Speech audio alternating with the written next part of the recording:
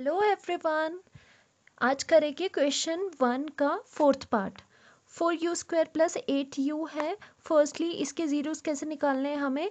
कि four u square plus eight u लिख लेते हैं। इसमें से क्या कॉमन निकल सकता है? देखो फोर यू कॉमन निकल सकता है और क्या बचेगा आपके पास? यू प्लस टू ठीक है? तो ये दोनों आपके फैक्टर्स हो गए दिस एंड दिस अब इनको इक्वल्स टू ज़ीरो करेंगे तो four u equals to zero आ जाएगा and u plus two equals to zero आ जाएगा। यहाँ से आपकी यू की वैल्यू आ जाएगी ज़ीरो और दूसरी यू की वैल्यू आ जाएगी माइनस टू नाउ ये दोनों आपके ज़ीरोस निकल गए। अब वेरीफाई करने की बात आती है तो सम ऑफ़ ज़ीरोस इक्वल हो जाएँगे equals to minus B upon A के अब देखो, अब इसे आप कैसे लिख सकते हो? Four u square plus eight u plus zero, क्योंकि कांस्टेंट है नहीं तो इसको ज़ीरो की तरह लिख सकते हो आप, ज़ीरो की तरह, ठीक है? तो इसमें बी कितना हो जाएगा? कोफिशियंट ऑफ़ यू, वो क्या है? एट। तो आप क्या लिखोगे? माइनस ऑफ़ एट और ए क्या है यहाँ पे? फोर। तो इसको लिख लिया, फोर हमने। ठीक है? तो सम ऑफ़ ज़ीरोस अगर आप करोगे तो zero plus minus of two आ जाएगा। यहाँ से आएगा माइनस टू और यहाँ से भी आ जाएगा माइनस टू हैंस ये वेरीफाई हो गया। सेकेंड पार्ट में आते हैं। यहाँ पे प्रोडक्ट ऑफ़ ज़ीरोस करने हैं हमने, ठीक है? प्रोडक्ट ऑफ़ ज़ीरोस करने हैं। उसकी वैल्यू क्या है बताओ? सी अपॉन ए सी क्या होता है? कांस्टेंट टर्म देखो कितनी है। कांस्टेंट टर्म ज़ीरो है। और ए क्या होता है? कोएफिशिएंट ऑफ़ यू स्क्वायर ठीक है? वो है फोर हमारे पास। तो प्रोडक्ट ऑफ़ ज़ीरोस करेंगे तो ज़ीरो कौन से थे? ज़ीरो एंड माइनस टू था, इनका मल्टीप्लाई कर दो। मल्टीप्लाई करने के बाद ऑब्वियसली ज़ीरो के साथ कोई चीज़ मल्टीप्लाई करेगी, वो ज़ीरो ही हो जाएगा। Hence left hand side equals to right hand side ये भी प्रूव होगी हमारी, ठीक है? Now second question fifth question करते हैं। टी स्क्वायर माइनस फिफ्टीन देखो इसमें थोड़ी ये ट्रिक होती है, जब भी दो वाली टर्म्स वाला एक्सप्रेशन हो ना, उसमें कोई ना कोई फॉर्मूला लग जाता है। तो आपको यहाँ से थोड़ा हिंट मिल रहा होगा कि फिफ्टीन को हम लिख सकते हैं अंडर रूट फिफ्टीन और अंडर रूट फिफ्टीन ठीक है? तो इसे T square minus under root fifteen का स्क्वायर लिख सकती हूँ मैं, ठीक है? फिर ये फॉर्मूला कौन सा बना A square minus B square का आपको पता होगा फॉर्मूला क्या होता है? A plus B and A minus B तो उसी तरह से इस वाली चीज़ को भी हम लिख सकते हैं T minus under root fifteen और T plus under root fifteen ठीक है?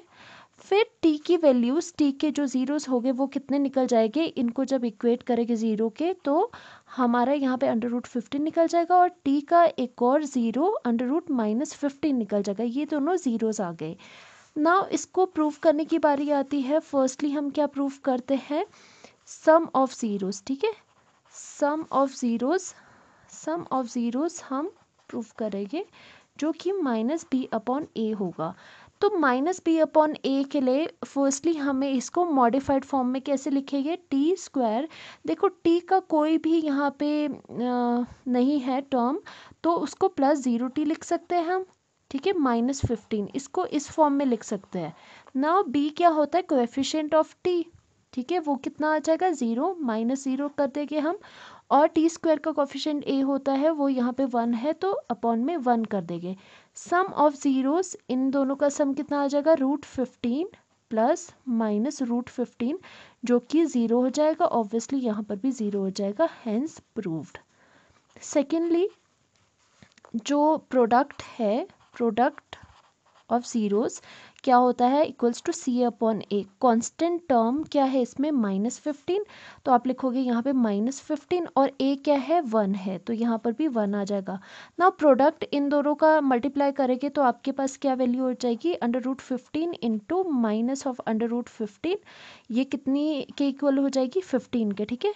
सॉरी माइनस भी है यहाँ पे। Minus fifteen equals to minus fifteen left hand और राइट हैंड साइड इक्वल होगी। हैंस ये प्रूव हो गया हमारे पास।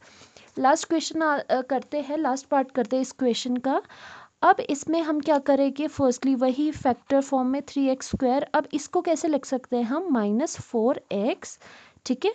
And plus three X minus four लिख सकते हैं ना? क्योंकि इसको माइनस करने से वही बन रहा है माइनस एक्स कॉमन कितना निकलेगा? एक्स कॉमन निकल जाएगा। Three minus three X minus four बचेगा अंदर। Plus one three X minus four देखो सेम सेम है ना? यहाँ और यहाँ सेम सेम होने चाहिए। अब three X minus four common निकल जाएगा। यहाँ यहाँ से। और एक्स प्लस वन बच जाएगा। नाउ इसको ज़ीरो के इक्वल करेंगे तो एक्स की वैल्यू आ जाएगी फोर अपॉन थ्री और एक्स की वैल्यू आ जाएगी माइनस ऑफ़ वन ठीक है? अब हमने सम एंड प्रोडक्ट को वेरीफाई करना है, ठीक है? तो क्या हो जाएगा वो?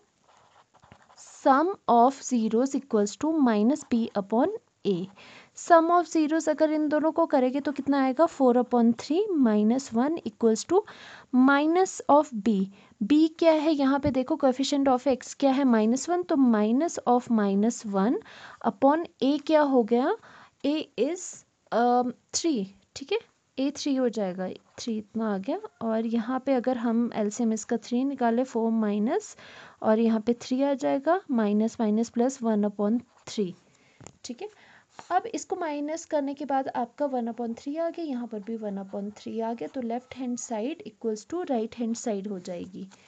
अब इसका दूसरा पार्ट करेंगे प्रोडक्ट बताओ, जल्दी बताओ, कैसे करेंगे प्रोडक्ट को?